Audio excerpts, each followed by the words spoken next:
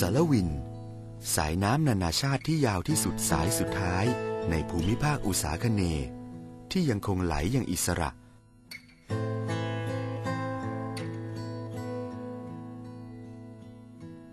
จากต้นกำเนิดบนเทือกเขาหิมาลัย ไหลสู่มณฑลยูนนานของประเทศจีน ก่อนเข้าสู่ประเทศพม่าที่รัฐฉาน ผ่านรัฐขยา ไหลเป็นเส้นพรมแดนระหว่างจังหวัดแม่ฮ่องสอนของประเทศไทยกับรัฐกะเหรี่ยง จากนั้นจึงวกเข้าสู่ประเทศพม่าอีกครั้ง และลงสู่ทะเลอันดามัน ที่เมืองมะละแมกรัฐมอน รวมความยาวทั้งสิ้น 2,800 กิโลเมตร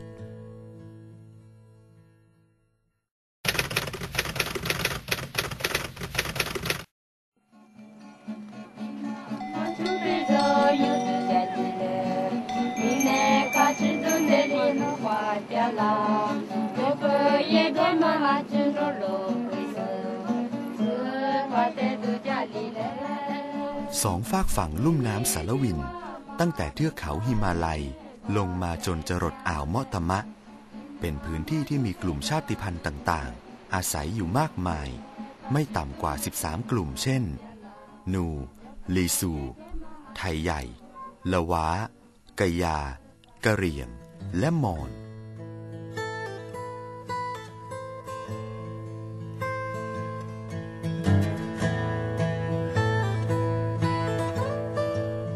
ลุ่มน้ำแห่งนี้ ยินตาเล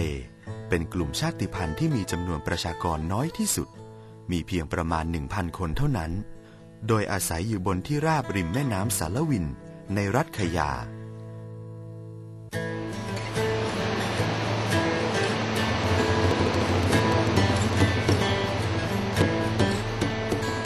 แม่น้ำสารวิน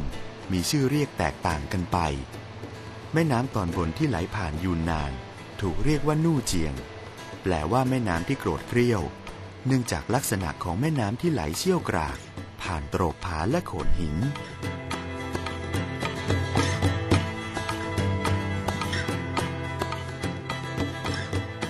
แม่น้ำตอนกลางไหลผ่านรัฐฉาน ซึ่งมีชาวไต หรือชาวไทยใหญ่ เรียกว่าน้ำคง เช่นเดียวกับกลุ่มชาติพันธุ์อื่น ๆ ในรัฐขยา รัฐกะเรียง และแถบล้านนา ล้วนออกชื่อแม่น้ำสารวิน ในสำเนียงใกล้เคียงกันว่า คงสำหรับชื่อสารวิน เป็นชื่อที่ชาวอังกฤษ เรียกเพี้ยนมาจากเสียงเรียกของชาวพม่าว่า ตันละวิน ในเขตยูนนาน ชาวบ้านส่วนใหญ่ทำไร่และเลี้ยงสัตว์บนเชิงเขา มีเมืองใหญ่ตั้งอยู่ริมแม่น้ำสารวินหลายแห่ง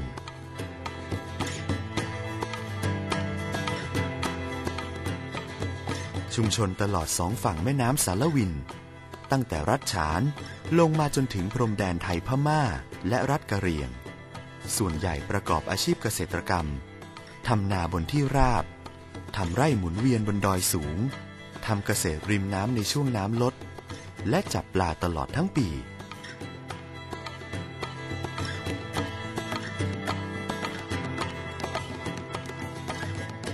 งานวิจัยปากากยอสารวิน ที่ศึกษาโดยชาวไทยเชื้อสายกะเหรี่ยง 50 ชุมชน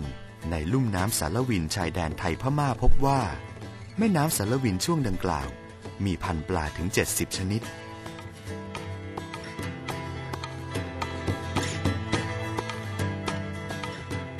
บริเวณที่ราบลุ่มปากแม่น้ำสารวินในรัฐมอญ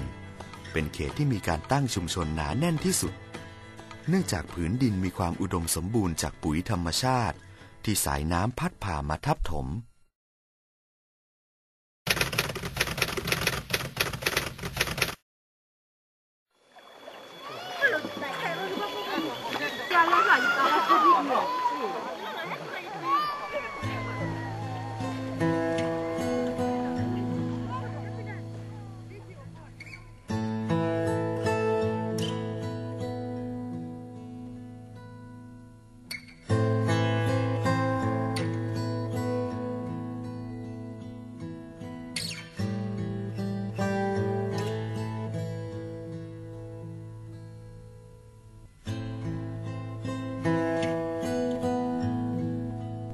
ลุ่มน้ำสารวินในพม่า เป็นเขตที่มีการสู้รบระหว่างกองกำลังกู้ชาติชมกลุ่มน้อย และกองทัพของเผด็จการทหารพม่า ซึ่งยืดเยื้อมากว่า 50 ปี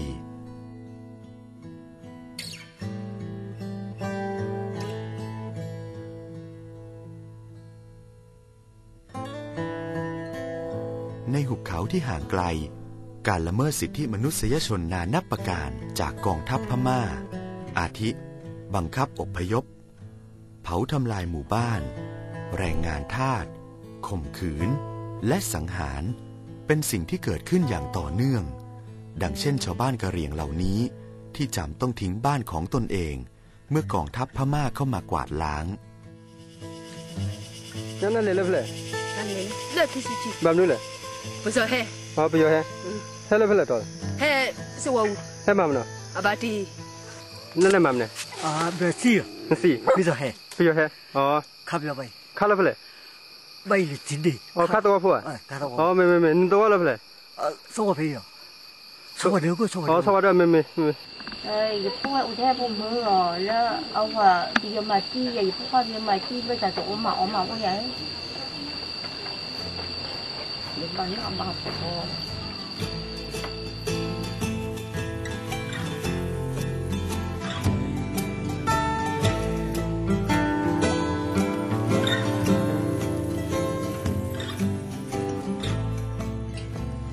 ประชากรจำนวนมาก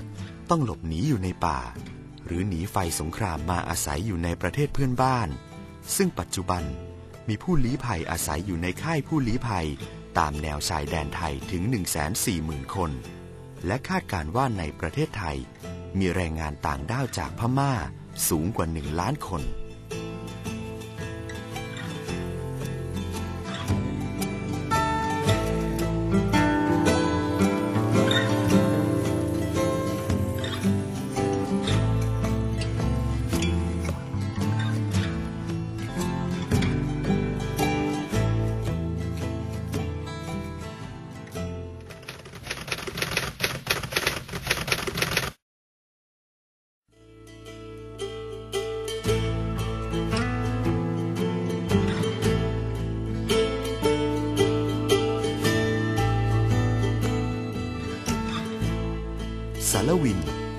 ำลังจะเป็นต้นกำเนิดของความขัดแย้ง และปัญหาข้ามพรมแดน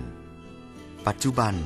พื้นที่โตรกเขาตลอดลุ่มน้ำกำลังถูกวางแผนโดยรัฐบาลสามประเทศ ในการสร้างเขื่อนเพื่อผลิตไฟฟ้า โดยมี 13 แห่งในเขตจีน และอีก 5 แห่งในประเทศพม่า และพรมแดนไทยพม่า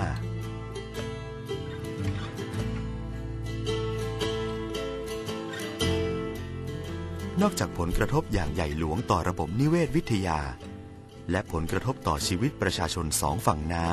ำการสร้างเขื่อนในพม่า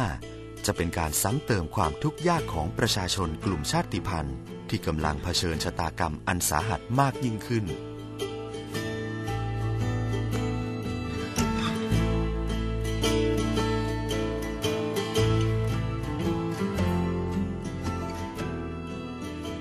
การนี้จะสร้างกำไรมหาศาลให้กับรัฐบาลพม่า